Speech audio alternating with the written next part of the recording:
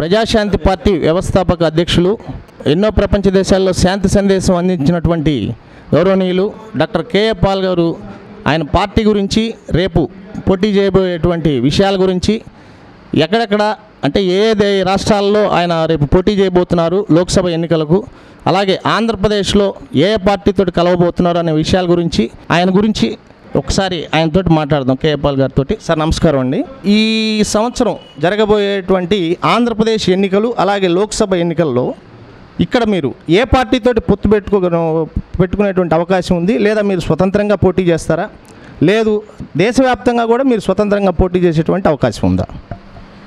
పొత్తులు పెట్టుకోవాలని చాలామంది వస్తున్నారండి. మీ వ్యూవర్స్ అందరికీ నా వందనాలు నూతన సంవత్సర శుభాకాంక్షలు. అయితే అవసరమా లేదా అన్నది మార్చిలో డిసైడ్ చేద్దామని అనుకుంటున్నాం. ఎందుకంటే ఇప్పుడున్న రెండు పార్టీలు ఉన్నాయి కదా. వైఎస్ఆర్సీపీ ఏంటి కాంగ్రెస్ పార్టీ మన తెలుగుదేశం పార్టీ ఏంటి వైఎస్ఆర్ కాంగ్రెస్ పార్టీ ఏంటి రెండు బీజేపీకి క్లోజ్ రిలేషన్స్ ఉన్నాయని మనకు తెలుసు. చంద్రబాబు నాయుడు గారు గత ఇరవై సంవత్సరాలు వాజ్పేయి టైంలో కూడా బీజేపీతో పొత్తులు ఇప్పుడు కూడా ఈ ఐదు సంవత్సరాలు బీజేపీతో పొత్తులు. ఓన్లీ ఎలక్షన్ కొరకు బీజేపీకి ఓట్ బ్యాంకులు బయటకు వచ్చారే తప్ప. మరలా గెలిస్తే బీజేపీ గెలిస్తే మరలా పొత్తులు పెట్టుకుంటారు. అప్పుడు ఐదు సంవత్సరాలు ఇప్పుడు ఐదు సంవత్సరాలు పెట్టు. అలాగే వైఎస్ఆర్సీపీ పార్టీ డబ్ బాహ్యంగా బీజేపీ క్యాండిడేట్ అని ఆర్ఎస్ఎస్ క్యాండిడేట్ ప్రెసిడెంట్కి వైస్ ప్రెసిడెంట్కి మద్దతు ఇవ్వడం మనందరికీ తెలిసిన విషయం. మాకు పొత్తులు పెట్టుకోవాల్సిన అవసరం లేదని అనుకుంటున్నాను. ఎందుకంటే ప్రజాశాంతి పార్టీ ఏకైక బడుగు బలహీన వర్గాల పార్టీ కనుక ఒక కులానికి ఒక కుటుంబానికో చెందింది కాదు అన్ని కులాలు అన్ని కుటుంబాలకి పార్టీ కనుక ఇప్పటికే ఆల్రెడీ ఇందాక ఒక ఆయన కాల్ చేసి ఏలూరు దగ్గర సార్ మీరు మూడు పర్సెంట్ పదిలో మూడు ఓట్లు పడతాయని అంటారేంటి? మా ఊర్లో ఆరు ఏడు పడితే నేను కంటెస్ట్ చేస్తాను నేను గెలిచి తీరుతానని అన్నారు. ఆరు ఏడు అని సండే వస్తున్నాను అలాగే సెవెంటీ నైన్ డెబ్బై తొమ్మిది ఎమ్మెల్యే సీట్లో ఆల్రెడీ ఫస్ట్ ప్లేస్లో ఉన్నాం. ఇలాగే కంటిన్యూ అయితే మీటింగులు జరిగితే నూట డెబ్బై ఐదులో కేజ్రీవాల్ ఢిల్లీలో అరవై ఏడు గెలుచుకున్నట్టే డెబ్బైలో నూట డెబ్బై ఐదు గెలవచ్చేమో. లేదా ఒక వంద సీట్లు అయితే గ్యారంటీ నూట పాతిక సీట్లు ఇక్కడ గ్యారంటీ అనుకుంటున్నాం. అప్పుడు అభివృద్ధి అంటే ఇటు చేసి చూపిద్దామని రైతులకు రుణమాఫీ ముందు ఫిఫ్టీ పర్సెంట్ తర్వాత ఒక సంవత్సరంలో హండ్రెడ్ పర్సెంట్ చేనేత కార్మికులకు డ్వాక్రా మహిళలకు మొదటి రోజే మేము అధికారంలో రాగానే మొదటి సంతకం ఈ రుణమాఫీలు చేయడం జరుగుతుంది. ఇప్పుడు నిరుద్యోగులు ఎంతోమంది లక్షల మంది ఉద్యోగాలు లేకపోతే ఒక అరవై వేల మందికి ముందు ఆపర్చునిటీ ఇస్తున్నాం. ఏంటి? ప్రజాశాంతి పార్టీలో మీరు ఒక్కొక్కరు వెయ్యి మందిని చేర్పించండి టెన్ రూపీ మెంబర్స్తో. మీకు జూన్ నుండి అక్టోబర్ వరకు త్రీ థౌజండ్ రూపీస్ ఫ్రీగా ఇవ్వడం జరుగుతుంది స్టైఫండ్ గిఫ్ట్గా. అక్టోబర్ రెండు మా హైదరాబాద్ సమిట్ తర్వాత పెర్మనెంట్ జాబ్స్ ఇవ్వడం జరుగుతుంది.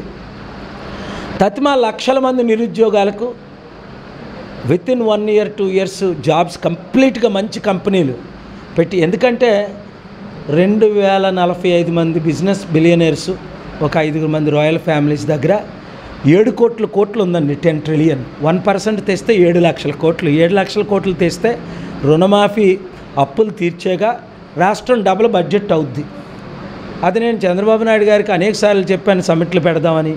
ఇంతకుముందు రెండు వేల పద్నాలుగు ముందు కూడా. రెండు వేల పద్నాలుగు తర్వాత వాళ్ళ లీడర్షిప్ వారు పట్టించుకోలే. అంటే రాష్ట్రాభికి వ్యతిరేకంగా లేదా నేను ఇంకా పాపులర్ అవుతానో మొత్తం మీదకి ఆయనకి ఇంట్రెస్ట్ లేదు. అందుకని దేవుడు నాకు ఒక ప్రేరేపణ ఇచ్చాడు. సూపర్ వాక్యూమ్ ఉంది.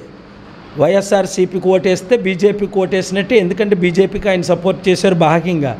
చంద్రబాబు నాయుడు గారు అంటే బీజేపీ బీజేపీ అంటే చంద్రబాబు నాయుడు గారు. ఇంకో పార్టీ ఏముంది? చిన్న చిన్న పార్టీలు ఉన్నాయంటే ఆల్రెడీ నేను చూశారు కదా మీరు గుంటూరులో ఇరవై ఐదు పార్టీలు చైర్మన్ మద్దతు పలికారు. ఆయన ఎమ్మెల్యేగా నిలబడుతున్నాం. నవతెలంగాణ కాంగ్రెస్ ఇంకొక ఆయన మద్దతు పలికారు.